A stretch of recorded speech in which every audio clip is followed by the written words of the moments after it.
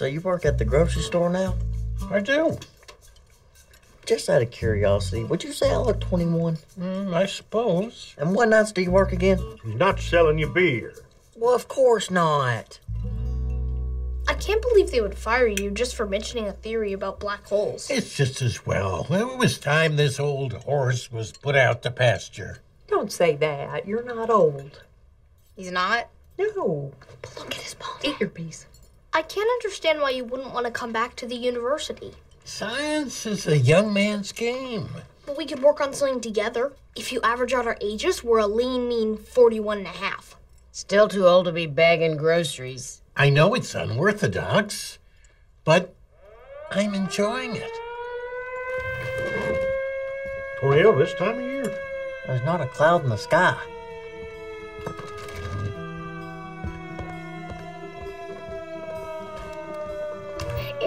Information is still coming in, but a black hole has been detected in Waxahachie, Texas.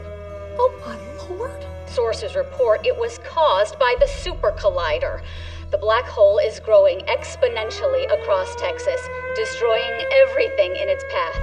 This is an emergency situation. Repeat, this is an emergency situation. John, what do we do? There's nothing we can do. He's right. It's going to create a gravitational field that'll consume everything around it. Should we evacuate? We can't. We could never outrun it. Well, how much time do we have? Minutes at best. Thaddeus. It's okay, baby. We need to pray right now. You do that, I'm having a beer. Oh, everybody hold hands. Heavenly Father, watch over last moments on Earth praying. Yeah, if we only got a few minutes left, I want to spend it talking to y'all. You are all the light of my life, and I love you so much. Daddy.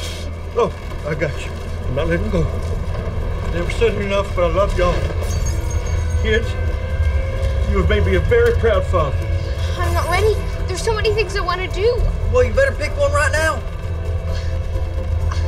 Uh, okay, um. And I just want to say I'm sorry for any time I was bad and anytime I was mean to Sheldon. It's okay. It's just so funny when he's upset. But I'm still sorry about it. I'm sorry, too. Dad, I've been awful, especially to you. No, you haven't. I have. Well, we're good. Okay, we are done talking, I love you all, but it is really time to pray.